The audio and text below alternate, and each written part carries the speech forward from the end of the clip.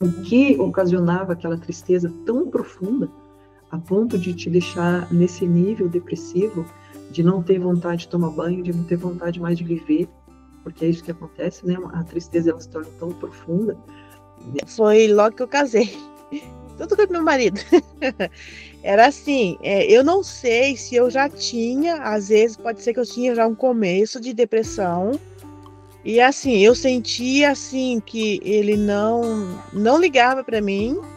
E aí eu tive vários problemas também com a minha sogra. Então assim, é, aí tudo foi se juntando. Então eu imaginava assim, ah, os dois estão é, se juntando, né? Porque as dois estão se juntando para me deixar assim. Então eu imaginava assim, ah, é, são coisas assim que é, você coloca na tua cabeça ali, é, põe culpa nos outros, entendeu? Então, assim, às vezes eu não sei, não tinha ajuda, não tinha ajuda. E assim, poxa, se a pessoa não percebeu que você tinha depressão, é que ele não estava nem aí para você, né? E o inimigo lançava isso na minha cabeça. Tá vendo? Você tá passando por isso? Quem tá te ajudando? Né? Eu também não me abria com ninguém. Tanto com a minha mãe, a minha mãe e minha irmã, agora há pouco tempo, que eles ficaram sabendo que eu tinha depressão. Então, assim, o problema estava em mim também. Por quê? Porque eu não conseguia me abrir com as pessoas. E aquilo foi causando essa depressão. Mas hoje eu percebo, hoje eu percebo, assim, que se eu tivesse, às vezes, procurado ajuda, né, assim, mais, há mais tempo, talvez eu não tinha, assim, essa, é, que foi bem profunda mesmo.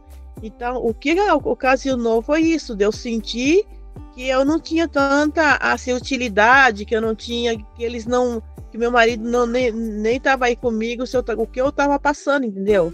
Então, aquilo foi, foi assim, um, um estupim para que a depressão viesse a ser bem profunda mesmo. Então, assim, foi, foi ter, porque eu acho que eu já tinha, às vezes, aquele pouquinho, né? Você caça que é o que? Atenção, né? Ah, tem que ficar ali. As minhas amigas, ai, meu marido faz isso, faz aquilo, e eu fui colocando, poxa, o meu não faz, o meu não faz isso. Então eu falava, eu falava assim, ele não me ama, né? Então é a primeira coisa que você vai. Por que, que ele casou comigo então, se ele não me amava, né? Então é muitas coisas assim que vai acontecendo, né? Aí aconteceu várias coisas, que a pastora sabe, e aquilo foi aumentando, só aumentando, aumentando, aumentando. Eu tratei lá na, na, na raizinha do problema lá, né? Eu cheguei para Deus e falei, eu não quero isso para minha vida, né? Então assim, é, o que me coisou mesmo, assim, que me livrou foi o perdão. Enquanto você não consegue perdoar a pessoa, você não consegue sair da depressão. Você tem que ter a atitude assim, e aquelas coisas não te machucam mais. Aí sim, a depressão vai embora. Agora, se você perdoar e ainda aquilo te machucar, aí não é perdão, né? Então é, é assim, é, é o perdão que vai te livrar de todas essas coisas. Sim, muito bom de você relatá-lo, porque o perdão, como você disse, fez parte dessa cura né? É, ou seja, não esqueceu tudo que se viveu, mas o perdão colocou é, um bálsamo sobre aquela dor, né? Trouxe remédio para aquela dor e além do perdão, o amor de Deus, né? Porque o amor de Deus ele vem, ele preenche tudo isso. E ele faz a gente se sentir útil. Ele faz a gente se sentir amada para ele, perante ele. Agora, isso não é num momento só da nossa vida. Em vários momentos parece que Deus precisa ir reforçando isso também na nossa vida, né? Para que a gente sempre parece que tem sempre bater essa tecla. Deus te ama, Deus me ama, eu sou importante para Ele, né? Por quê? Porque nós temos um inimigo das nossas almas que sempre vai querer nos trazer para baixo e dizer que não somos importantes. Pode falar, Lu. É tanto que ontem a gente fez 31 anos de casado, né? Então, o negócio agora tá bom. Lucirene pode falar. Aleluia. É, bom dia, meninas. Bom dia. São profunda mesmo. Eu quase cheguei assim a ponto de tentar suicídio, tudo. É, a pessoa assim, ela, ela, você olha para ela, você fala, ela tá bem. Ela tá bem, eu, eu, ia na igreja, eu sorri, eu só comecei a perder peso, né? Você olhava assim para mim, você via que eu tava emagrecendo, emagrecendo, emagrecendo, mas eu ia na igreja, eu sorria com as pessoas. Na hora da oração eu chorava muito, né? Porque quando uma pessoa tá em depressão, quando, quando você sente aquele momento de louvor, aquele momento de oração, você percebe que a pessoa chora bastante, e é um choro de desespero. Não é aquele choro de lágrima, é aquele choro de desespero mesmo, né? E daí depois quando passa a oração, ela se, simplesmente seca o rosto e faz de conta que nada está acontecendo, e só que ela, é, se você olhar bem para o rosto dela, você vai ver que ela transparece uma tristeza no olhar, na maneira de falar.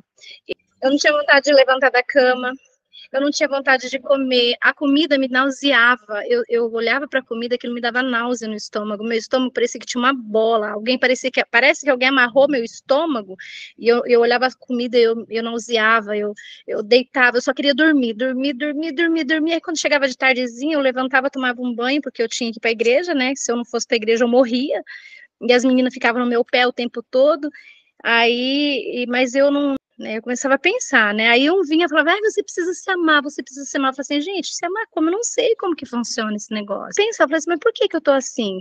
Né, a senhora perguntou o que que, o, o, se ela tinha identificado o porquê dela tá daquele jeito, né, eu, e eu pensando, né, eu falei assim, nossa, eu lembro que na hora, assim, quando eu, eu levantei de manhã, porque tem uma hora que a gente acorda de manhã, depois de quatro meses de depressão, de sofrimento, de tristeza, de angústia, eu falei assim, por que que eu tô assim? E eu descobri que não era, não era por conta da traição, não era por conta do abandono, né? Porque a gente se sente assim, traída, abandonada, trocada. Foi a ingratidão. O que me machucava era a ingratidão. Então eu comecei a trabalhar isso no meu coração. Falei assim, mas por que que ele está sendo ingrato comigo? Que que, o que, por que que a vida está sendo ingrata comigo? Qual que é o motivo que me faz pensar dessa forma?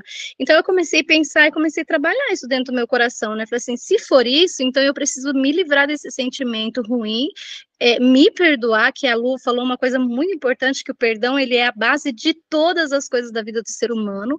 Aí eu, aí eu falei assim, eu preciso me perdoar, né, como a Florinda tinha dito para mim lá na, na, rodoviária, eu falei assim, eu preciso me perdoar, eu preciso olhar no espelho e falar para mim assim, Lucirene, você pode, você é capaz e você vai conseguir. Então, eu levantar, hoje eu vou tomar uma posição e eu vou mudar. Porque essa questão de posição, você levantar e falar assim, não, chega, não quero mais isso para minha vida. Tenho, eu, aí eu consegui, graças a Deus, levantei, tomei um banho, troquei de roupa, fiz uma oração muito longa, conversei bastante com o Senhor, chorei muito, eu tampava a cara do travesseiro assim, sabe? Eu gritava, gritava, gritava, gritava. Coloquei toda aquela angústia para fora, levantei, fui fazer, fui lá no, tem um lugar aqui que a gente chama de pontilhão, eu fui lá no pontilhão, sentei lá, fiquei olhando os carros passando, e a vontade de me jogar lá de cima, vocês não têm noção. Eu vi aquelas carretas, aqueles caminhões passando. Se eu pular daqui, um daquela vai passar por cima de mim, eu não vou nem sentir. Eu vou morrer tão rápido que eu não vou sentir. Mas aí o Espírito Santo falou assim: Mas e seus filhos? Ele vai ficar sozinho, daqui a pouco ele arruma outra mulher, né? Ele vai ser feliz, ele vai esquecer, ele vai lembrar que um dia você existiu, mas ele não vai sofrer. E os seus filhos vai levar essa dor e vai carregar essa dor pro resto da vida. E você sabe que, de repente, lá no futuro, um, um, neto seu, um bisneto seu pode se matar por conta da maldição que você está lançando sobre a vida deles. E eu fui pensando em tudo isso, porque o Espírito Santo trabalha dessa forma, né, pastora? E eu peguei e falei assim: não, o problema não são eles, o problema não é, não sou eu, é a ingratidão que eu tô sentindo. Então, eu preciso me livrar desse sentimento. E eu preciso. E eu fui pensando no que o Senhor Jesus fez por mim. Eu, ele falava para mim assim: ah, você está me matando de novo. O Espírito Santo falava para mim: você está me crucificando outra vez. Olha o que eu fiz por você. Eu me sacrifiquei, eu morri por você. Eu derramei o meu sangue pela tua vida.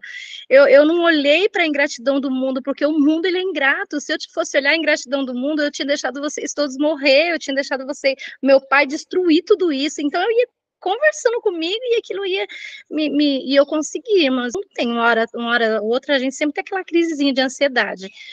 Mas eu tento não colocar na minha cabeça nada e, e busco sempre estar falando com Deus, falando assim, ah, Senhor, eu não aceito isso na minha vida, eu não quero viver isso de novo, porque quem já passou pela depressão sabe que quão terrível sentimento é e quão horrível é você viver todos os dias com aquele sentimento de, de, de, de que você não é nada, de que você, olha, teu marido te largou, você é tão linda, mas então porcaria, porque a gente faz, o pastora. Olha, irmãs, eu vou falar pra vocês, o primeiro sentimento que vem no coração de uma pessoa em depressão é a morte. Porque é uma dor tão terrível, né, Lu? É uma dor, dá uma dor aqui assim na gente, isso aqui fica tudo dolorido, as costas dói, a cabeça dói, o estômago dói, parece assim que você foi atropelada por uma carreta, de tanta dor que a gente sente.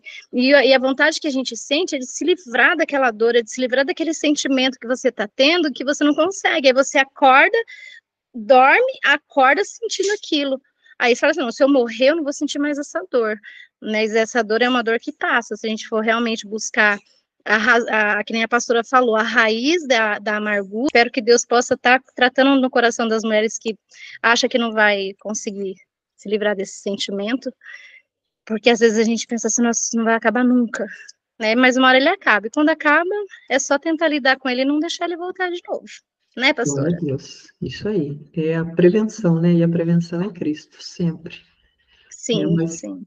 É tudo que você citou aí, né? Você já, já conseguiu entender o que, que é se amar, né? É não estar dependente para se sentir amada, estar em Deus. E o projeto Mulher Seja Feliz, ele é exatamente isso, ele está baseado nisso. Por isso que o primeiro ponto e o principal é amar a Deus.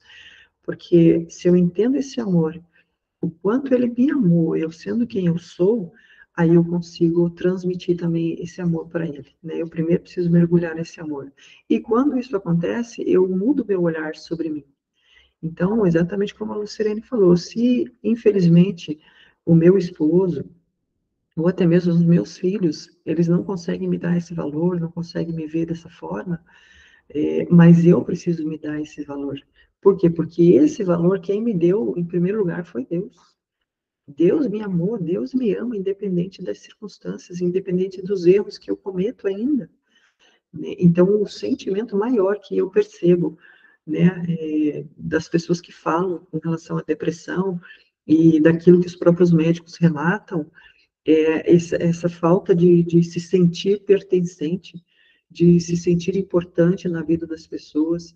A criança, ela não se sente importante para os seus pais, ela sente que ela não é amada, né? Aí ela começa a sofrer bullying na escola, e por isso que eu falo, daí uma coisa vai reforçando outra, sabe? Parece que vai vindo camadas, assim, que vão sufocando essa pessoa, a, a ponto dela chegar nesse nível, assim, não vale a pena viver.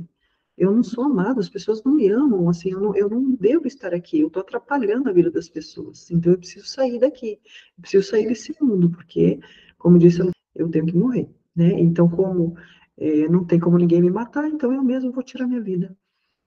E aí gera toda essa briga, esse conflito é, a nível espiritual, é, a nível da alma, né, a dor da alma, e aí entra o processo medicamentoso, que é importante, né, procura de um profissional, mas precisa alinhar, né, o, o período do profissional com o período espiritual. O Senhor, eu sei que não é isso. Senhor, eu sei que o Senhor me ama. Senhor, eu não aceito isso e eu vou continuar firme em Ti né, para que a gente possa continuar nessa prevenção, a gente tem que continuar aos pés de Cristo. É né, o que a gente chama aqui da perseverança, da constância. É todo dia, todo dia.